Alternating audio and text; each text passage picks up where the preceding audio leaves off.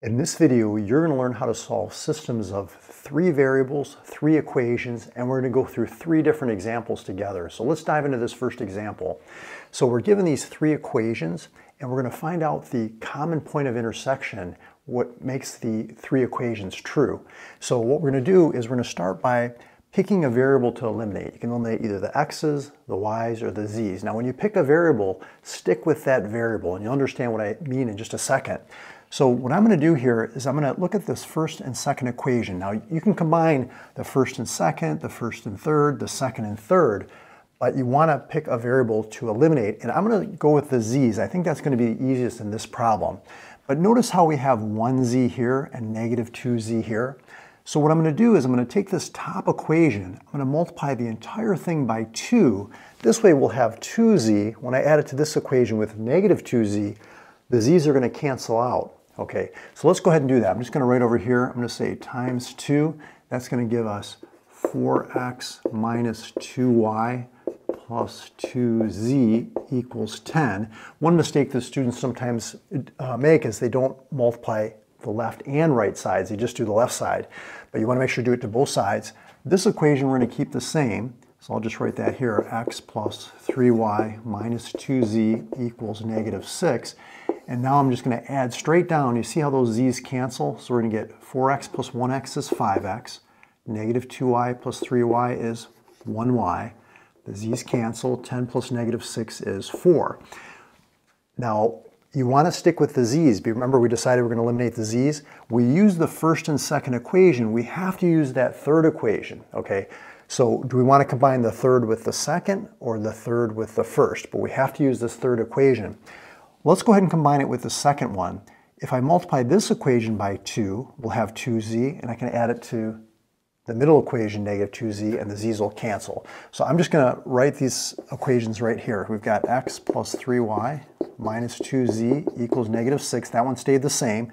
This equation we're going to multiply by uh, 2. Okay, so that's going to give us 8x plus 2y plus 2z equals 10. Now when we add straight down, those z's are going to cancel. We get 1x plus 8x is 9x, 3y plus 2y is 5y, and negative 6 plus 10 is 4. Okay, now it's interesting. We're down to two equations that have two variables, x and y. So we have to now pick a variable to eliminate, either the x's or the y's. I think it's going to be easier to eliminate the y's, all we would have to do is multiply this equation by negative 5. That'll give us negative 5y, positive 5y. Those y's will cancel when we add the two equations together. So let's go ahead and do that. So we're going to say, here, I'll just put a little note here, times negative 5. So that's going to be negative 25x minus 5y equals negative 20. You want to make sure you multiply the whole equation. Now when we add straight down, see how the y's are going to cancel. This is going to give us negative 16x equals negative 16. And if we divide both sides by negative 16, we can see that x is coming out to 1. Now notice what happened. We went from three variables, three equations, down to two variables, two equations, down to one variable, one equation. What we're going to do now is we're going to go backwards from the one variable, one equation to the two variable, okay, one of these equations, then back to the three variable equations. So if we take one, I'm just going to put it into, let's see, I'll put it into this one right here. So it's 5 times x, which is 1, plus y equals 4. So that's 5 plus y equals 4. Subtract 5 from both sides, y equals negative 1. Okay, so now we have x and y, we just need z. You can put it to any one of these equations, you'll get the same answer. I'm going to put it into this top equation, and let's go ahead and do that. So we have 2 times x, which is 1, minus y, which is negative 1, plus z, which we don't know yet, is equal to 5. Okay, so let's simplify now. We've got, let's see, 2, a negative times a negative is a positive 1. We've got 3 plus z equals 5. I'll just put that up here. And if we subtract 3 from both sides, we get z equals 2. Okay, now we have x, y, and z. What you want to do is you want to write it in alphabetical order as a triple, x comma y comma z. And in this case, it's going to be 1 for x, negative 1 for y, and 2 for z. And that's our solution. If you want to check your answer, you can take these x, y, and z values, put them into each equation, and you should get 5, negative 6 for the second one, and 5 for the third one. And if it makes all the equations true, you know this is the common point of intersection. So let's take a look at another example. Okay, if you're getting the hang of this so far, why don't you try this uh, second example and we'll go over it together. So for number two now, we've got these three equations. You need to decide what variable you want to eliminate first, either the x's, the y's, or the z's. Sometimes one's easier than another, but you can't really make a mistake by which variable you pick. It's just a convenience. So here I think what might be easier would be work with the y's. Okay, so what I'm going to do is I'm going to add this first and third equation together because the negative 1y and the positive 1y, when I add those equations together, the y's are going to cancel. Now, some questions that you might have at this point in the video is, Mario, can we subtract equations or do we always have to add them?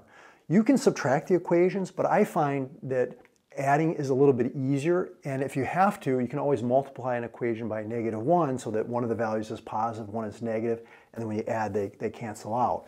But you can subtract them if you prefer that but I like to just add them. So let's go ahead and diagram this out a little bit. So when we add 5x plus 2x, we get 7x. Negative y plus 1y, that cancels. 1z plus negative 2z is negative 1z, okay? And 14 plus negative 3 is equal to 11. Now notice we use the first and third equation. We have to use the second equation, okay? Very important. But you can combine the second equation with the first or the second equation with the third, but again, we have to use this second equation.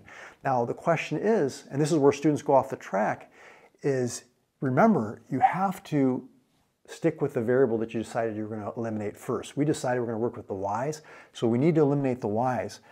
I'm going to combine it with this first equation. I can see that if I multiply this first equation by 2, that'll give us negative 2y. When I add it to the second equation, positive 2y, bada boom, bada bing, they cancel out, right? Okay, so let's do that. We're gonna multiply this guy by two, so we get 10x minus 2y plus 2z equals 28, right? This guy we're gonna keep the same, x plus 2y plus 3z equals 9. And if we add straight down, 10x plus, remember this is understood to be a 1 here, 1x is 11x, y's cancel, 2z plus 3z is 5z, and 28 plus 9 is 37. You know, the biggest thing that happens with students when they're doing these problems is they make little arithmetic mistakes. So if you need to use a calculator or do some of the work off to the side and then bring it back, whatever it takes to be very accurate. The other uh, tip or technique that you might want to do is label the equations. You might want to say this is equation one, two, three, and then when you're working with them, you can kind of keep track. Oh, I'm combining first and second equation. Oh, I need to use my third equation, or you know something like that to keep it more organized. Sometimes I like to draw arrows. Um, but you want to make sure you use all three equations, especially at this first part of the uh, process. Once you get down to the two variables, two equations, now we're on easy street, right? You're used to doing this from earlier in math, solving using either substitution or elimination or graphing. But let's stick with the elimination method. And I think the easiest thing to, uh, to work with would be the z's now. All I'd have to do is multiply this equation by 5. That would give us negative 5z. When I add to this one positive 5z, they're going to cancel out, right?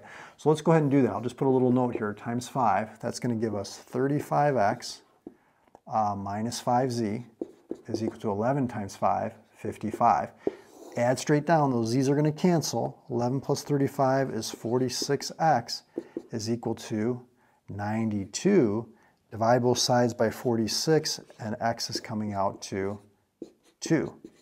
Okay, now what we're going to do is we went from three variables, three equations, to two variables, two equations, one variable, one equation. We want to work our way back. So I'm going to put the two either in here or in here and solve for z. I'll just do uh, this one right here. So I'm going to do 11 times x, which is 2, plus 5z. I like to put a little line through my z so I don't think it's a 2 or something else, okay? And then let's simplify. So we have 22 plus 5z uh, equals 37. Subtract 22 from both sides. 5z equals 15. Divide both sides by 5, and you can see z is equal to 3. Okay, now we have x and z. We need to solve for y. So we go back to the three variable, three equations. You can use any one, whichever one you want. Of course, you want to make it easy on yourself. I'd probably pick this one because we just have a 1 as a coefficient in front of the y. So let's go ahead and do that. We've got 2 times x, which is 2, plus y, which we don't know yet, minus 2z, which z is 3, is equal to negative 3.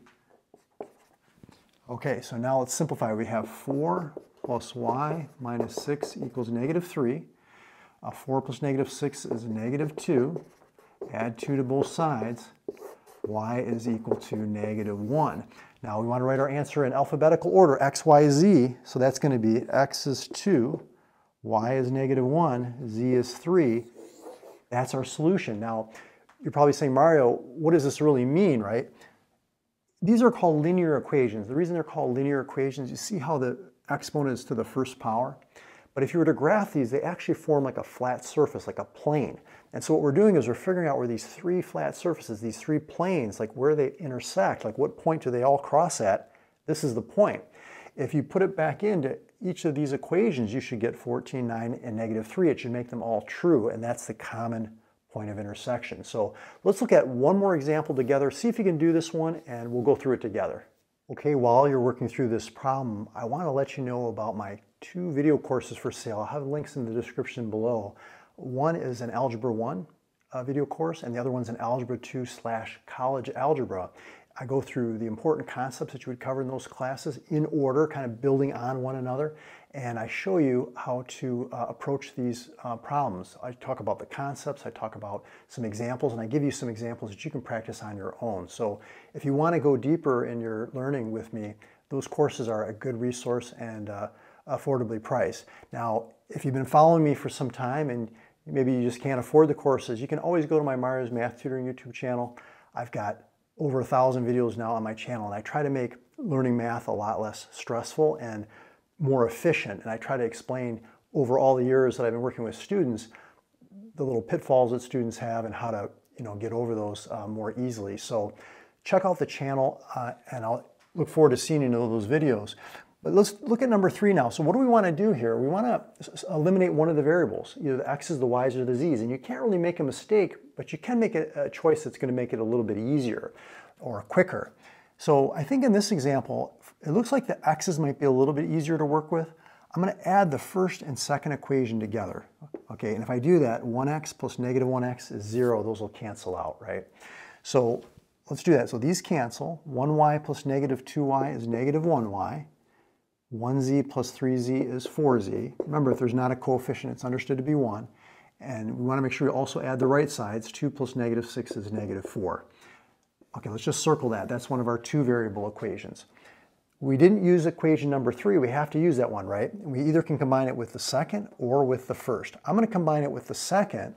And what I'm going to do is I'm going to multiply this whole equation by 2. This will give us negative 2x plus positive 2x those x's are going to cancel, right? So let me just write it right down here. So this would be negative 2x minus 4y plus 6z equals 2 times negative 6, which is negative 12. We're combining these together. x's cancel. 3y plus negative 4y is negative 1y.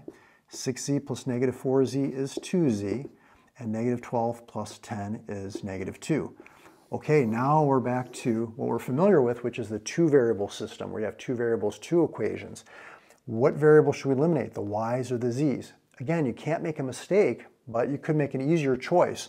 In this case, it looks like the y's might be easier, but I think if we multiply this equation by negative 1, that'll make this a positive y, negative 2z, positive 2. All the signs flip when you multiply by negative 1. Let's bring this equation down. And now you can see when we add straight down, the 1y and negative 1y are going to cancel. Negative 2z plus 4z is 2z, and 2 plus negative 4 is negative 2.